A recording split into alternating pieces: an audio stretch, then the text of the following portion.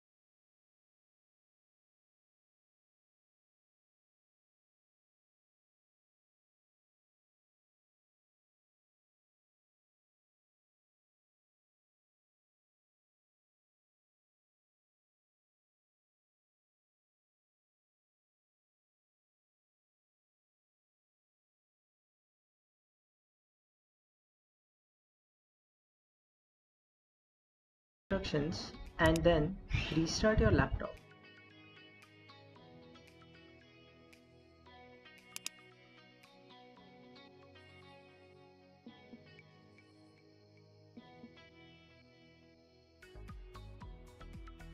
Make sure you receive the message successfully rebuild performance counter settings from system backup store. If you get any error messages do comment below and if you successfully get the following messages make sure you restart your laptop.